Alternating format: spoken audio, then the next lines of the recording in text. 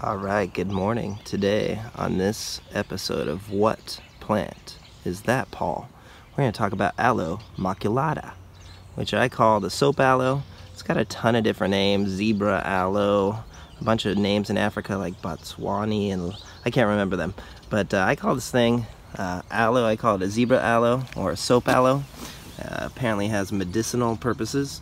But uh, honestly, we have a lot of uh, dying oleanders so there's a little bit there. Um, and so uh, to combat that, I'm just kind of putting some succulents when I can. So I put a crested aeonium here, it's really doing well.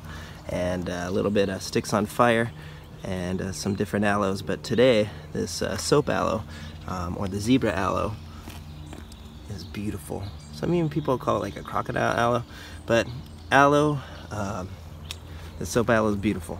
So flowers look like that. It's hardy. Uh, to about 25 degrees. Um, it's native to South Africa and it is a nice beautiful little uh, clumping plant. You can get uh, seeds off of it um, or it will provide little pups. So as you see here, there's some nice little uh, babies that's popped out of the side there and this is a really good example. Sometimes the leaves will get burned back from the frost um, or excessive heat.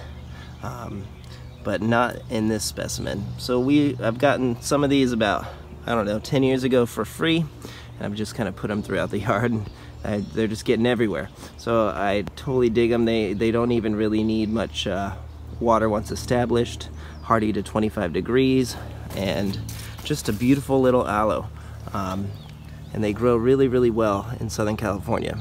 I really like the different color uh, and patterns there in the structure. However, the spines are, are on, for an aloe, these are definitely on the more spiny side. So sharper teeth. So that is a drawback. Definitely really sharp, so you don't want to um, have your foot walk by and get them. That will get you. So, um, the little ankle biters here. Uh, growth is about one to two feet wide, one feet, feet tall. And again, they'll just kind of spread out as you can see.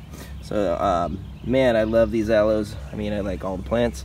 But uh, give us a like and a subscribe. We'll keep them coming. This is on the cool plant list.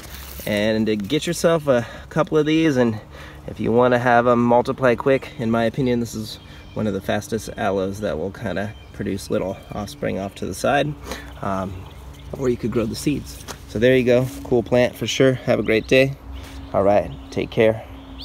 Bam.